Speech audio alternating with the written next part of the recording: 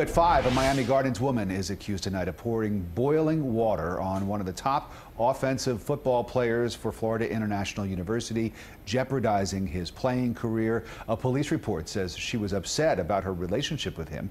CBS 4's Peter D'Oench live on the campus of FIU with the story. And Peter, has this ended the season for this young man?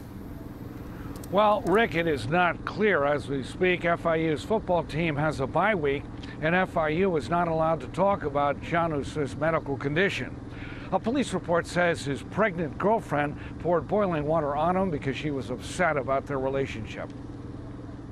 FIU senior tight end Jonnu Smith has been a top scorer. Smith. Smith is also a top prospect for next year's NFL draft and has spoken to us about the FIU team. We got a lot of good guys uh, coming back. Uh, you know, we got a lot of young guys stepping up that can make plays for us. Now Smith's skills may have been jeopardized. He reportedly has severe burns on his head, neck, back, shoulder, and arm. FIU school police say his 20 year old girlfriend, Mary Gaspar, poured boiling water on him on Halloween in his FIU dorm room. Um, I think it's extremely ridiculous. That's very sad because he's going to have these burns for the rest of his life. Students are stunned.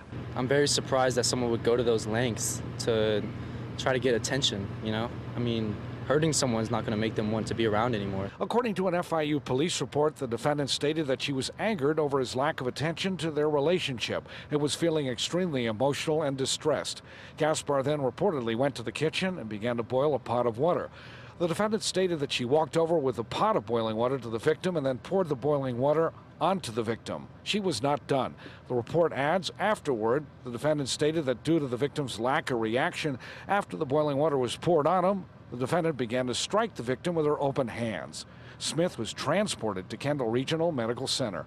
It's baffling to me um, the fact that she was mad because he wouldn't show her enough attention. He was just trying to provide for them in the future one of the stars of the football team, trying to make a name for himself and to provide for his family, and she kind of just took that away from him. Now, an FIU spokeswoman told us that Jonnu Smith was not allowed to talk about this pending case. Mary Gaspar, meanwhile, did not respond to her telephone calls and texts.